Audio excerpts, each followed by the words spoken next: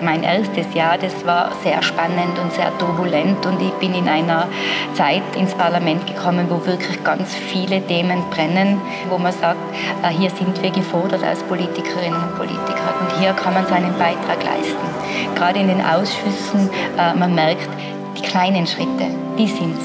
Die großen Schritte, die passieren nicht über Nacht, aber die kleinen Schritte sind's. Und wenn die Leute fragen, ja, gell, du bist eine Imsterin, dann denke ich mir, ja, ich bin eine Imsterin, bin eine Tirolerin, bin eine Österreicherin, bin aber auch eine EU-Bürgerin und ich bin stolz, dass ich Europäerin bin und weiß aber auch, wo meine Wurzeln sind.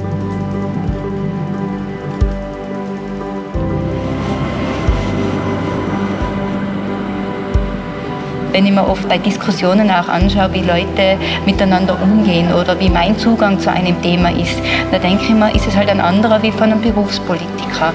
Mir ist es wichtig, dass man sich äh, wirklich zusammensetzt und miteinander redet und dass man auch äh, Gegensätze anerkennt und dass man auch sagt, okay, das lasse ich gelten, du denkst anders und äh, trotzdem Kompromisse findet. Und deshalb sind Quereinsteiger ganz, ganz wichtig und ich fühle mich auch wohl als Quereinsteigerin und Wichtig ist, dass man die Vielfalt auch in der Politik lebt, die man sonst hat. Und da braucht es alle dazu.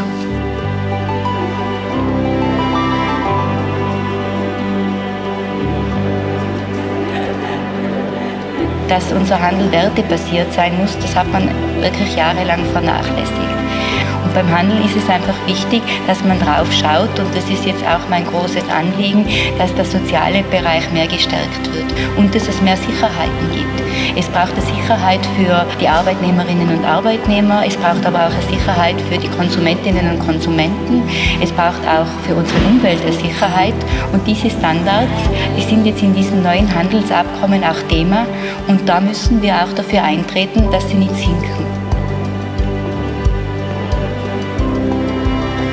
Wenn man jetzt nicht beginnt und ansetzt, dann wird das in Zukunft nur sich alles verschlimmern. Die Arbeitslosigkeit hat schon eine hohe Quote erreicht, auch die Jugendarbeitslosigkeit. Und es braucht einfach für die Menschen wieder eine Perspektive. Und hier muss man diese Gerechtigkeit einfordern und auch Möglichkeiten schaffen. Und das ist eigentlich Ziel der Politik.